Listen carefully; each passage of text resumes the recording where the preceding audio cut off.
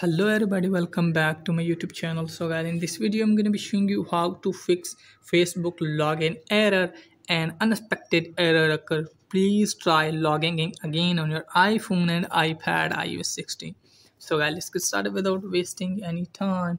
First of all guys what you need to do is just simply open setting first and if you're using mobile data tap on mobile data and then tap on mobile data options. And make sure that if this toggle is turned off if this toggle is turned on you have to turn it off again. And after that what you need to do is just simply tap on wi-fi if you're using wi-fi. And make sure that you have strong enough connection with wi-fi. If you don't have then you have to forget this one. And after that you have to rejoin it and then check whether your palm has been fixed or not.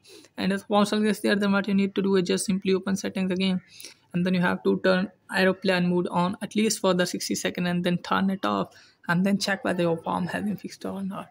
And if the palm is there then what you need to do is just simply open app store and from here you have to search for facebook and from here make sure that you have updated version of facebook. If you have updated version and still it's not working then what you need to do is just simply open setting and then you have to scroll it down tap on general scroll it on tap on iphone storage and from here make sure that you have search facebook and tap on facebook and from here you have to offload the app and tap on offload and then you have to offload the app and then reinstall it and then check whether your phone has been fixed or not.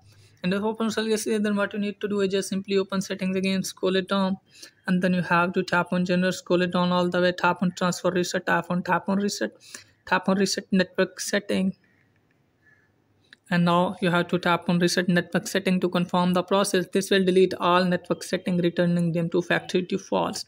And after that check whether your form has been fixed or not. And if the parcel is there then what you need to do is just simply remove the app from your phone and then you have to force restart your device.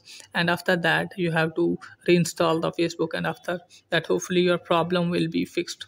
So that's it guys for today video. If the video is helpful please like and subscribe my channel. Thanks for watching